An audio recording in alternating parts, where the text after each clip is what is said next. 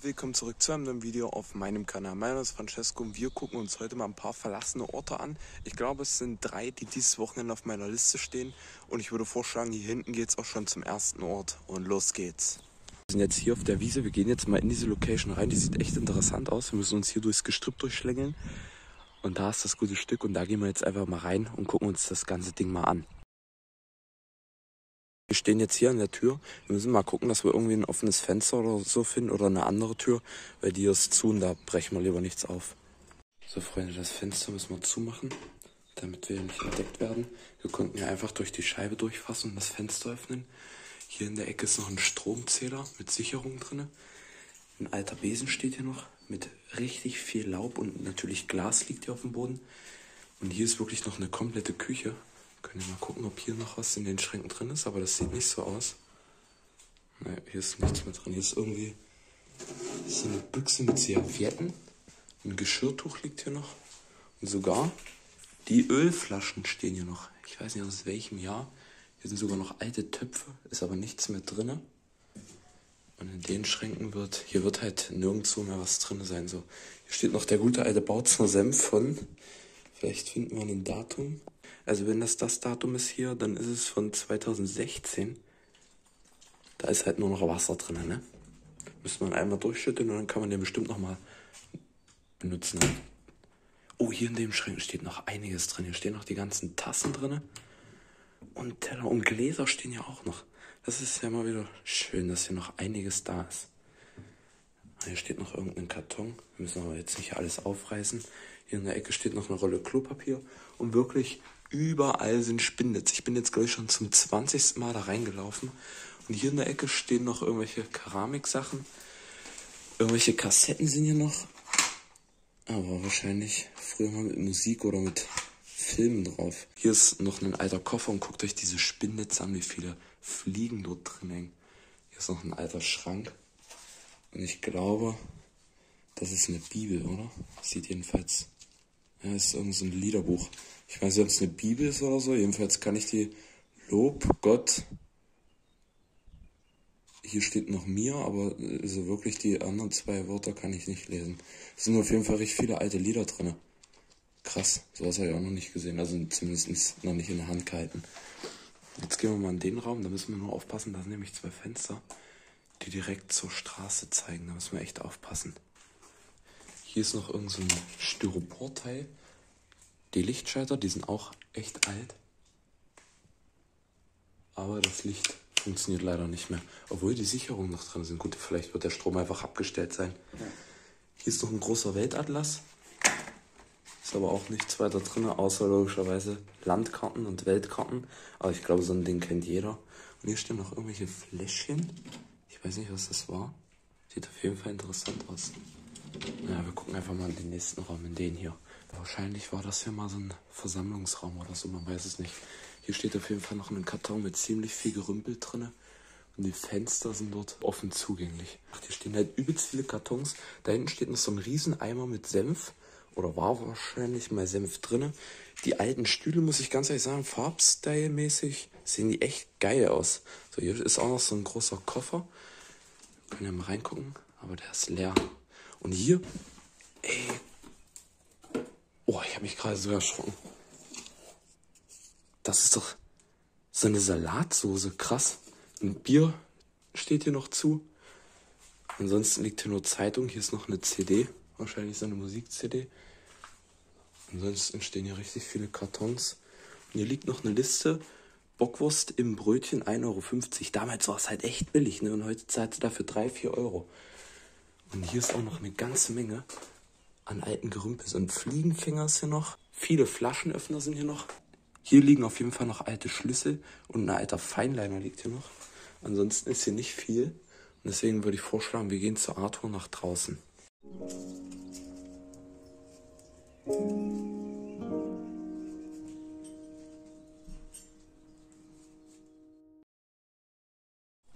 Hier haben wir jetzt auf jeden Fall noch so eine Art kleinen Schuppen. Hier stehen richtig viele Lackeimer rum, also das hier ist einer. Und ansonsten sind ja viele Kartons. Hier hängen noch Kabel rum. Und auch hier sind wieder richtig viele Bautzener Senfflaschen. Krass. Ketchup ist ja auch sogar noch. Der sieht nur nicht mehr so ganz so gut aus. Ja, ansonsten ist hier nur Werkzeug, also Schrauben, den Hammerkopf, den haben wir drinnen auch schon gesehen. Und hier steht noch eine Packung Sunier, das war glaube ich Waschmittel, wenn ich mich nicht irre. Ansonsten sind hier nur richtig viele Kartons mit Tüten ohne Ende und Grillkohle ohne Ende. Ja, und hier ist noch ein altes Fenster. Hier ist noch ein Kühlschrank, der umgekippt wurde. Der liegt ja einfach so draußen, da ist schon richtig viel Regenwasser drin. Und da hinten sind, glaube ich, wenn ich das richtig lese, Toiletten. Da gehen wir einfach mal hin. Wir müssen hier halt nur aufpassen. Hier sind nämlich direkt Parkplätze daneben. Aber ja, das sind Toiletten wahrscheinlich. Ja gut. Wer hätte es gedacht, hier sind wirklich Toiletten. Ne, ist schön. Da stehen nämlich die ganzen Autos. Das Gelände ist halt riesig. Das hier war mal, ich glaube, eine Hundeschule. Jedenfalls haben wir vorhin jemanden gesehen, der gesagt hat, es hatte irgendwas mit Hunden zu tun. Freunde, ich laufe hier gerade so lang. Ist das ein Pilz? Sieht aus wie ein riesiger Pilz an einem Baum. Naja, da ist auf jeden Fall die Straße.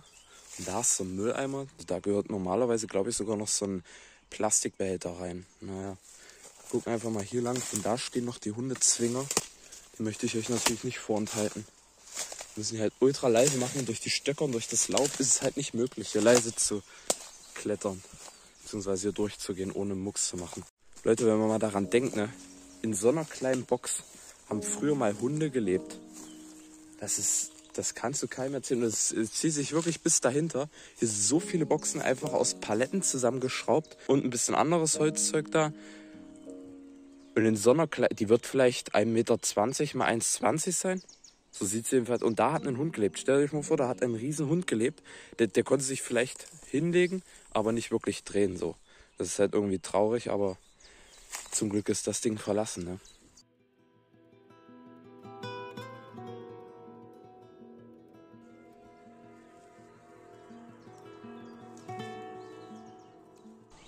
Arthur und ich, wir machen uns jetzt hier aus dem Staub und dann gehen wir zur nächsten Location.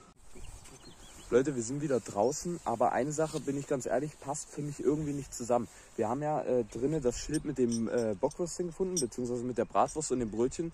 Also einerseits das Verkaufen der Essenswaren, ähm, aber auch das mit den Hunden.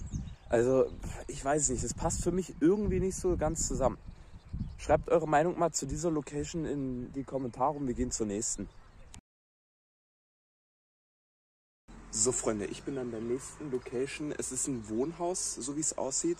Ich habe mich von hier hinten, sieht man das, habe ich mich reingeschlichen, hier hinten durchs Gestrüpp. Mittlerweile habe ich auch Handschuhe an. Das Fahrrad habe ich hier links neben mir abgestellt. Und es sieht etwas spektakulär aus. Dort oben gucken schon die ersten Gardinen aus dem Fenster raus. Hier ist eine Rolle unten. Und das Haus ist wirklich zugewachsen bis zum geht nicht mehr. Und ich würde vorschlagen, dort hinten müssen wir, glaube ich, rein. Jedenfalls war dort ein kleines Schlupfloch. Und da gehen wir einfach mal hin.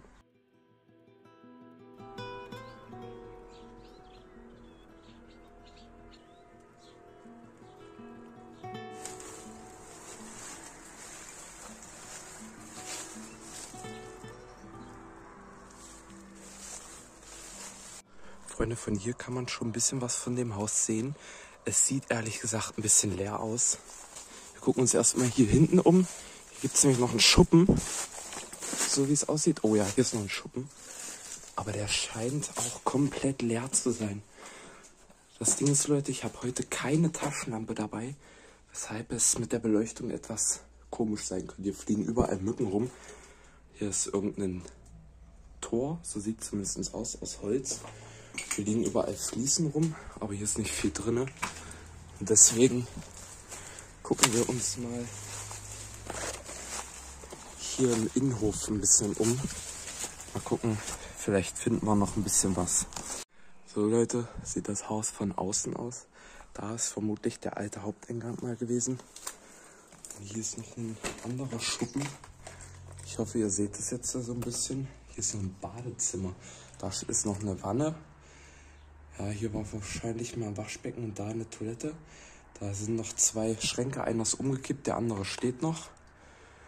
Ja, ansonsten ist hier nicht mehr viel drin. Ihr könnt ja mal hier so ein bisschen reingucken. Aber hier ist halt wirklich gar nichts mehr drin. Leute, da ich jetzt kein Licht dabei habe und das Haus hier offensichtlich ein bisschen leer ist, äh, gucken wir hier einfach nur durch und wahrscheinlich geht's dann zur nächsten Location. Ja, das ist jetzt so ein bisschen noch nebenbei mit dem Handy gefilmt. Ja, aber hier ist auch nicht mehr viel drin, außer noch ein Kühlschrank. Ja, so ein alter Tisch wahrscheinlich. Hier wurde anscheinend mal Feuer gemacht. Ansonsten sieht es halt ziemlich abgeranzt aus. Und hier liegt verdammt viel Bauschutt, wahrscheinlich von den ganzen Decken und so. Hier ist noch ein Kachelofen. Ansonsten ist ja auch nicht mehr viel drin. Uha. Krass. Oh, wie abgerockt das hier aussieht.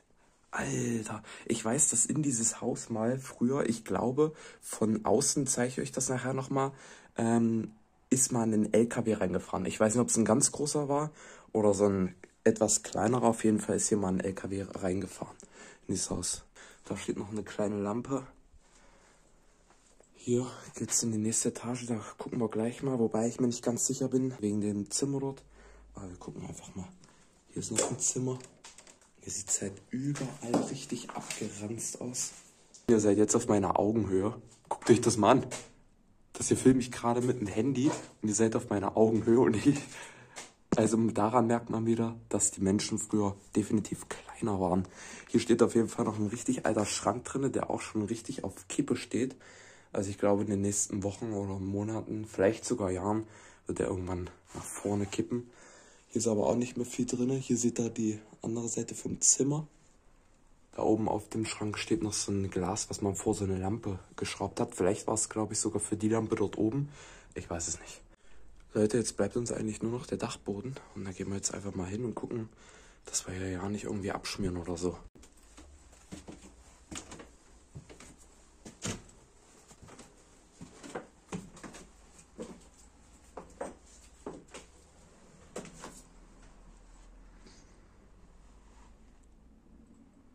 Leute, ich habe wieder umgeswitcht. Hier ist noch so eine kleine Kammer. Hier hat es definitiv mal drinnen gebrannt. Das sieht man jetzt nicht richtig.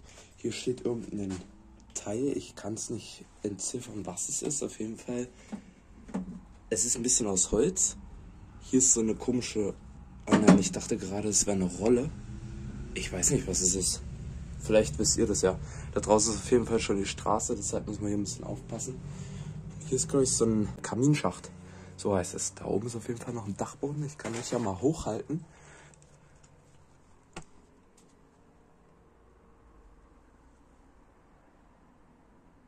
Aber ich glaube, ihr habt dort oben auch nicht viel mehr gesehen als ich.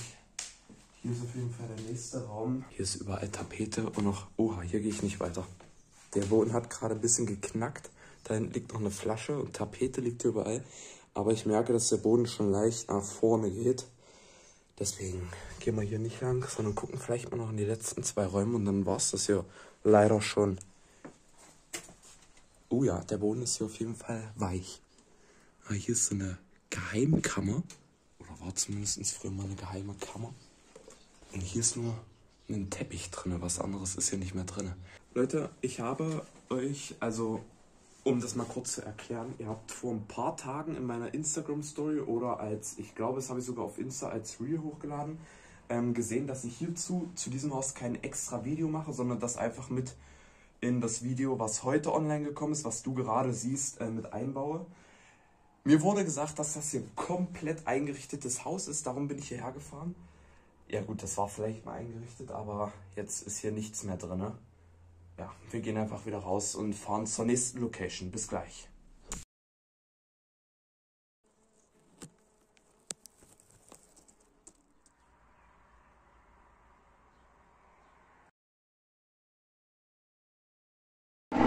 So Leute, ich bin an der nächsten Location angekommen. Allerdings gibt es hier ein kleines Problem, denn die ist dicht. Hier gibt es wirklich nirgendwo ein Reinkommen.